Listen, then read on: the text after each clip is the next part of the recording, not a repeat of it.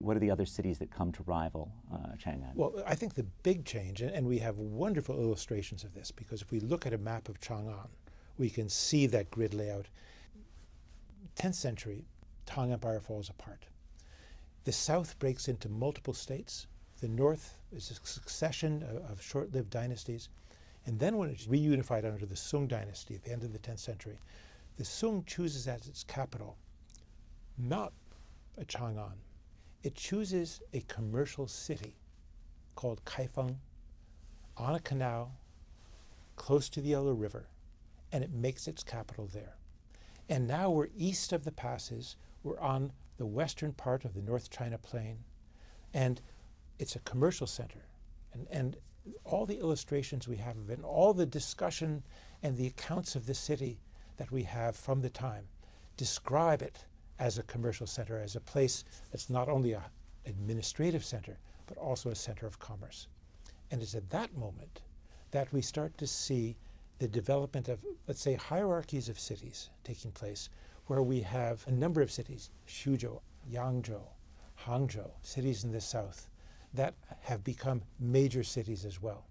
Now, there's one piece of infrastructure that many of these cities have in common, right, which is the Grand Canal, which seems to play a role in, in many of their histories, right? So, that Grand Canal that links the prosperous and fertile southeast with the northern capital is done under the Sui dynasty, so back in the end of the 6th century. It continues on through the Sung. Uh, then, after a, a conquest, it, it's dilapidated and has to be restored again. But it's a very important, it's a very important route. The, the Grand Canal and the Yangtze River the shift of the center of population to the south, and gradually the shift of the center of commercial wealth to the south is absolutely essential to this story. One thing that is somewhat unusual about, about the Kaifeng story is that it's quite often in the West that great political cities will become commercial cities. Think about London, uh -huh. for uh-huh. example.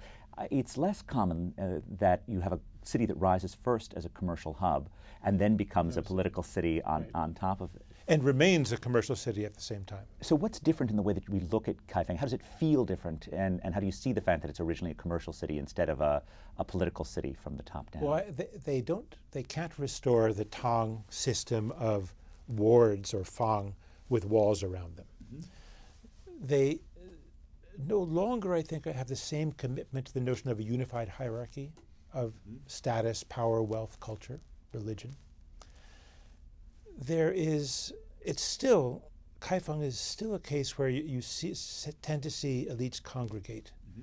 The, the, political leaders, cultural leaders. In particular neighborhoods. In particular no, no, it just, it, just, congregating there. But in fact, it's now spread out to other cities as well. Mm-hmm. One of the phenomena we see is that when people retire, when leading officials, leading cultural figures retire, where do they move?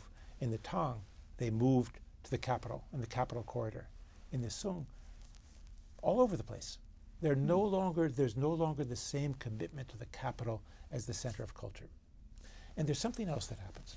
And we actually have really good evidence from 1077. What that map shows is that the economic hierarchy and the administrative hierarchy, from the capital all the way down to the county, is started to diverge. And you have market towns that have more commercial tax coming in than the county seat. You have county seats that have more commercial tax coming in than the prefectural seat. So there's no longer this neat Tang hierarchy or the imagined hierarchy of Tang where the economy is subordinate to the administration.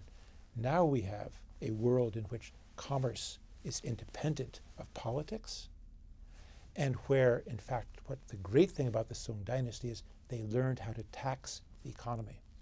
So more of its wealth is now coming in, more of its revenue is now coming in from commerce than from agricultural tax.